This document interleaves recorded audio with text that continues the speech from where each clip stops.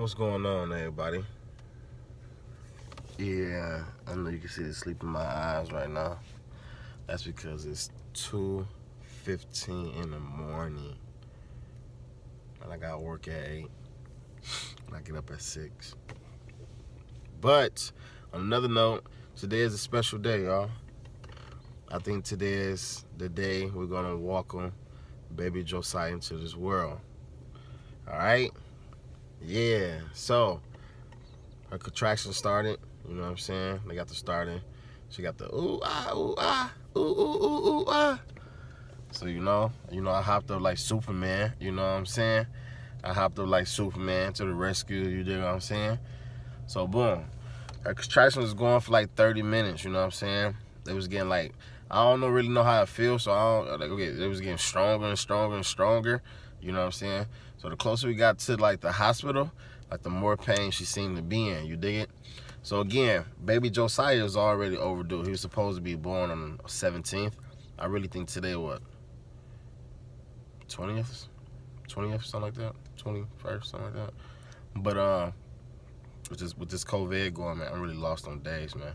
I really just wake up when I see certain times, like, oh, 6:45 a.m. I know, I know I gotta be somewhere like that.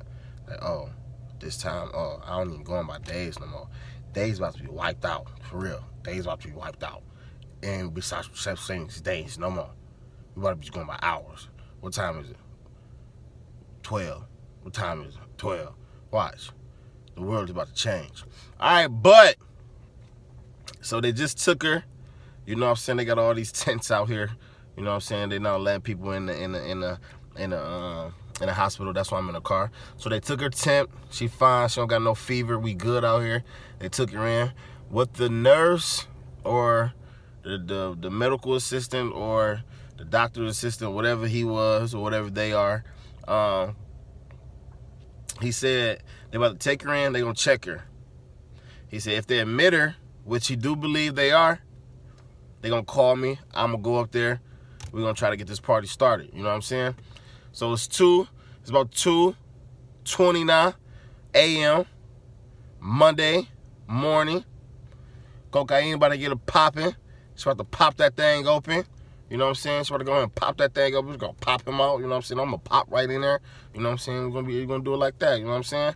All right. I'm very happy. You know what I'm saying? I'm very happy to bring this this beautiful this beautiful blessing to this world. You know what I'm saying? Well, I really I, I really want y'all to ask. I really ask for a prayer. You know, and due to these hard times. You know what I'm saying?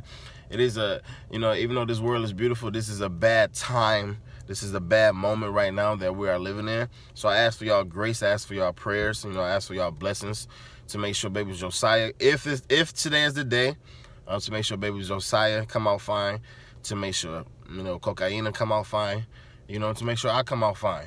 And what I mean by me, I don't want to faint or anything in the of the delivery. So say one for me too. For real. This ain't no joke.